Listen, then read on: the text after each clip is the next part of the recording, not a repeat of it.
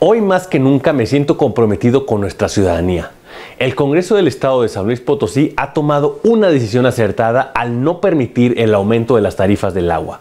Sabemos que no podemos cargar a la población con mayores costos cuando la escasez de agua es una realidad que enfrentamos. Pero detengámonos un momento y pensemos en el futuro. No basta con evitar el aumento de las tarifas de agua.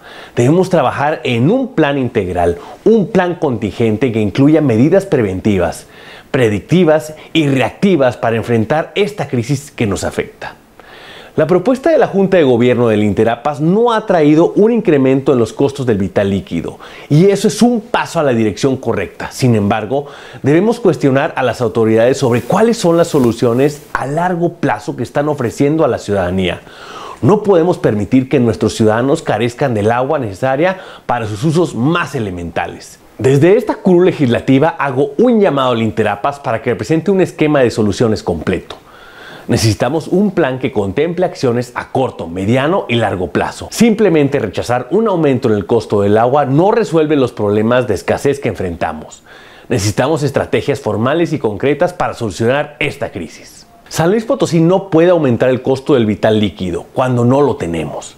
Pero no basta con detenernos ahí. Exijo respuestas claras de parte del Interapas, la Comisión Nacional del Agua y la Comisión Estatal del Agua.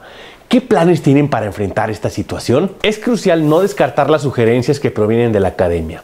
Debemos informar a las personas sobre el consumo responsable del agua, gestionar la presión del agua en nuestras ciudades, investigar los riesgos hídricos en cada municipio, reducir la demanda del agua y diversificar nuestras fuentes de abastecimiento.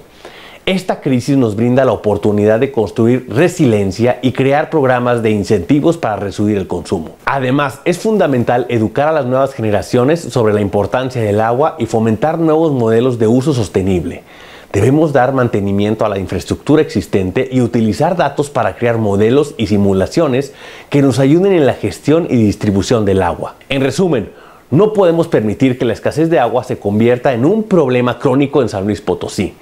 Debemos actuar de manera responsable y decisiva pensando en el bienestar de nuestra ciudadanía y las generaciones futuras. La hora de tomar medidas es ahora y espero que las autoridades estén dispuestas a liderar este cambio necesario. Soy Rubén Guajardo, diputado local del PAN.